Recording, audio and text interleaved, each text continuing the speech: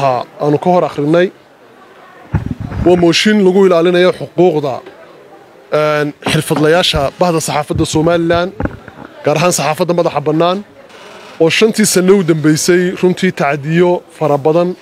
لكل مي عايز ومدى الصومال لأن يدوني بالله صعوتا صحافة الصومال لأن إن الدور مهمة كعيارتي. يبنت الديمقراطية ذا نبضة وذا شركة هرمركة يا شرفت قرنك جمهورية الصومال لأن muddada ka horna in dadku ay nabadgelyo qaataan oo somalilan unkankeedii runtii kaalin mugyo miisaan leh ay kaga jirtay saxaafaddu cidnaba kamay qarsoonayn intan dambe waxaa dhacday xeer ilaaliya saxaafadda xuquuqdooda dhowra oo cid xidhi kartaa ayna jirin oo sifo sharciga waafaqsan lagu xidhi karayo ayaan dalka ka jirin xeer qabyo qoraala baa jiray. Xildhibaanadu iyagoo waajibkooda runtii xeer gudanaya waxay muddoba ka shirayeen sidii loo ilaalin lahaa xuquuqda saxaafadda madaxa bannaan ee somalilan waxaad arkaysaa suxufi isagoo oo halgan ummadda ugu jira. Waxyaabaha dadka aad qalbiga u taabta waxaa ka mid ah. Suxufiyiintii suuqu markuu gubanayay dunidu sheegaysay ee lahayd waxaanu ku soo gurmannay baaq dowladeed kumaynu soo gurman dowladda saxaafadda ka dheeraysa waxaanu ku soo gurmannay baaqa saxaafadda somalilan ee qiiqa dhex gelaysay ee hantida ummaddu inay badbaado qayb ka ahayd ee dhaqaalaha maanta suuqaha u soo xarooday qayb ka ahayd in xadhig loogu abaalgudo oo xabsi la dhigo waa ayaandarooyinka jira waxaana qayb ka ah xeerla'aanta markaa golaha wakiiladu waxaa loo soo doortay inuu dhowro xuquuqda muwaadiniinta inuu dhowro sarraynta sharciga inuu dhowro sharafta muwaadiniinta goluhu ma sameeyo ama ma bixiyo adeeg biyo adeeg caafimaad adeeg waddo iyo mid amni. Laakiin fahanka goolaha dadku ka haystaa waxaan doonaya inaan ugu sharaxo waa ilaaliyaha xuquuqda muwaadiniinta iyo dhowrista sharciga dalka. Hay'adaha adeegyada kala duwan bixiyana isagaa la xisaabtamaya. Haddii xeerkaa markaanu samayno laga edebsan waayo saxaafadda oo xuquuqdeeda la dhowri waayo oo si yaroo sahlan kolba laysaga xidho oo xabsi loo dhigo waxaa ka dhalanaya ciqaabo fara badan waan rajaynayaa goloweynuhu xildhibaanada labiyo siddeetanka ah. Ayaa libinta maanta wada yeelanaya. Cid gaari kuma suntanaanayso dhowr iyo tobanka xildhibaana mooshinka soo gudbiyena si gaaraan ugu hambalyeynayaa mooshinkana ciddii aan ka qayb gelinina mar labaad ka qayb gasho waa muhiim. Waxaa jirta oon doonaynaa inaan mar labaad xasuusiiyo mayd maxaa u sidoo u dambeeye baa le saddexdaa suxufiye xidhan tacaddiga la kulmeen inay waayeen xuquuqdoodii waalidkood ay kula dabaaldegi lahaayeen ciidda ay kula dabaaldegi lahaayeen aydhiin mayda. Wax allaaliya wax waliyaalankaa lagu haystaa inay jirin oo weli maxkamaddooda socoto sharciyan ayna habboonayn. In laga hor dhaco kiis maxkamad ku jira laakiin waxa cad waxa cad waxa lagu haystaa inay barnaamij siyaasiya tahay ee barnaamijku xadgudub xirfaddooda saxaafadeeda aanu ahayn. Bartaasay ka muuqataa bahda garsoorka waxaan ugu baaqaynaa inay sharafta garsoorka ilaaliyaan inaanay ku degdegin xukunka suxufiyiinta inay xuquuqdooda dhowraan inay xurmadooda saxaafadeed dhowraan inay xabsiyada aanay degdeg ugu xidhinayn inay xorriyaddooda helaan oy soo daayaan. Markaa mar labaad iyo mar saddexaad iftiin baa u soo baxay bahda saxaafadda iftiin baa u soo baxay ummadda somalilan waxaan ugu ballanaa oonu ballan ku galnay oon bulshada ugu ballan qaadnay inaannu dhowrno xuquuqdooda. Tani waa tallaabadii koowaad tallaabada xigta ee dalkan lagaga sufaynaya tacaddiga yaallaa waxa weeyaan aanu mooshinka ka keeni doonnaa waa xeerka ciqaabta oo caqabad ku ah nolosha muwaadiniinta oo caqabad ku ah nidaamkeenna dowladeed oo caqabad ku ah cid kasta oo doonaysa inay cirdiga iyo sharafta ummadda somalilan hagaagto.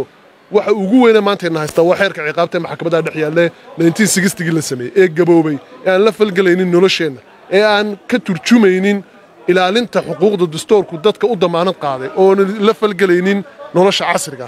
Markaa kaasaa xigi doona gooluhuna wuxuu ku dhaarsan yahay inuu sameeyo xeerar taabanaya nolosha bulshada. Hadday biyaha noqoto hadday waddooyinka noqoto hadday caafimaadka noqoto intaaba wixii mas'uuliyaddeeda naga saaray mas'uul kastoo xil xukuumadda ka hayaana maskaxdiisa ha geliyo inaanu golahani goolihii hore ahaan doonine in lala xisaabtami doono goolweynaha la soo fagaaro joojin doono. Mar labaad iyo mar saddexaad aad bay bahda saxaafadda u mahadsan tahay garabkiinaanu joognaa.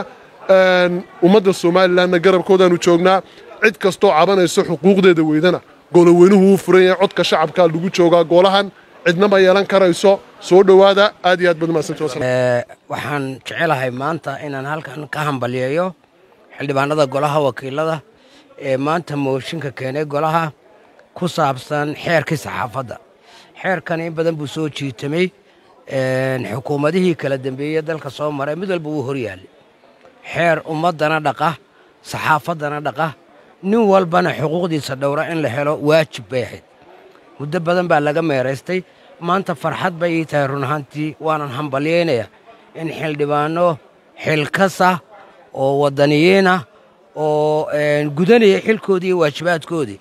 انت يسحل قامين أي موشن كو كينا نحيركي آد بانو وهم باليينيا قلوينها بارلمك سومال لأن وحن كا عطانايا ونغو باقيا حير كاس إنو نقضو مد dhaqan gala oo la ansixiyo oo golahan ka baxa oo isagoo tibabtiran oo layska kaashaday oo daneeyayaasha oo dhamme ay qayb ka yihiin oo saxaafaddu qayb ka tahay oo baarlamanku qayb ka yahay oo ciddii kasta ee danaynaysaa qayb ka tahay xukuumaddu qayb ka tahay inta laysugu tago xeer wax ku oola oo ina dhaqa inuu noqdo oo golahan ka soo baxo.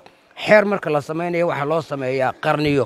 Ummaddu inay ku dhaqanto waxaa loo sameeyaa boqol sano boqol iyo konton sano laba boqoloo sano inuu noqdo xeerkaasi mid shaqeeya. Xaalad maantaa taagan iyo dan shakhsi ama mid siyaasadeed oo maalin la leeyahay xeer laguma saleeyo. Waxaan u soo jeedinayaa golaha inuu noqdo xeerkaasi mid ka fog noocaa inuu noqdo. Mid ka fog danaysi mid siyaasad ka fog mid mustaqbalka iyo jiilalka dambe ummaddeenna. Loogu talagalo inuu anfaco inuu noqdo laysu kaashado wax layska weydiiyo laga wada qayb qaato daneeyayaasha iyo cidda ay khusayso dhamme ay samayntiisa ka qayb qaataan oo wax laga siiyo. Ayaan golaha u soo jeedinaya. Midna fursaddan baan uga faa'idaysanayaa maantoo waxaa xidhan suxufiyiin baa xidhan muddo iminka. Kiiskoodii maxkamad buu ku jiraa. Ma doonaya inaan ka hor dhaco. Laakiinse waxaan caddaynayaa oo aan qirayaa sida xildhibaanku sheegayay inaan sifa sharciga loo marin xadhiggooda inuu xadhiggoodu u muuqdo mid siyaasadaysan oo aan sidii loo baahnaa intii uu lahaa hadday tahay mihnadda saxaafadda dembi ka dhacay intii uu lahaa iyo sharcigu siduu tilmaamayey dee si ka duwan baa loo maanisgareeyey oo loo maamulay iminka.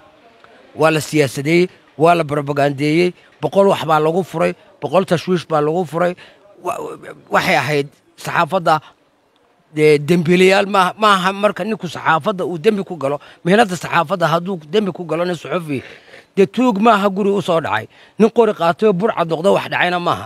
Ma qaba jirto sabab loogu qaado xeer ciqaabeed sabab loogu qaadaa meeshaa ma taallo.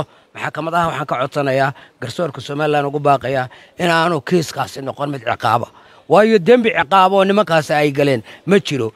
Kiiskoodu waa madani. Madaniguna dariiq loo maruu leeyahay. Qofku isagoo bannaanka joogaa dacwad lagu oogaa xeeraalintu hadday garyaqaanka dowladda هذه دعوات قبوا حكومة دعوات قبته سووا بنانك تشوفوا دعوات حكومة جيسن لها. لوير كود قبصن لها ين هل كان صلوا قرن قلها؟ تبي تنا هدي اللي جوه له مركا وحي له حكومة يهلا حكومة.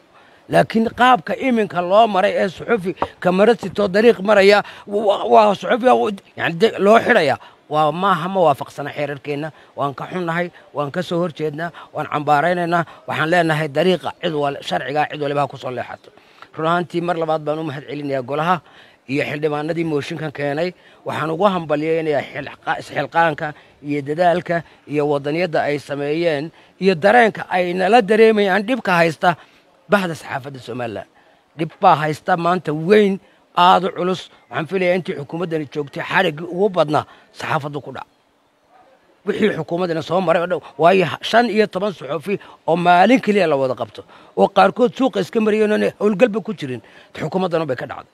Waxaan jecelahay xukuumaddayada anigoon nabcayn anigoon ceebaynin anigoon waxba ka sheegayn inay sharciga u soo laabato. Inaan sharciga lagu yacni ina waxaynu ku wada soconnee meel ku gaari karnay wax ku noqon karnaa waa sharcigaynu dhiganoo la ilaaliyo. Nin waliba inuu sharcigiisa dhinaca ka ilaaliyo. Mar saddexaad baan u mahadnaqayaa saxaafadda somalilan runaantii dadaal badan bay ka galeen. Maalmihii qarannimada siday wax uga timinayeen. Dhibaatooyinkii iyo disaastarkii inagu dhacay ee dabkii ka mid ahaa siday u baahiyeen caalamka ugu bandhigeen ee ummadda adduunka o dhan tashikooda inoogu soo jeedi u soo jeediyeen waan ugu mahadnaqayaa. Waxaan idin leeyahay وين وينو جوليسنا إنا دلكينا هل كاكودا هدالنا وين كجود بينا عقبات كستي ترنت ركستو إنا قهرت ماذا بارلمك سمرلان ساس لك بان مرلا بعد يمر صدحات بقوم هندقيا. وحنا رجينا إنا إنه كصبحه حير إنا وضام فعه والسلام عليكم ورحمة الله.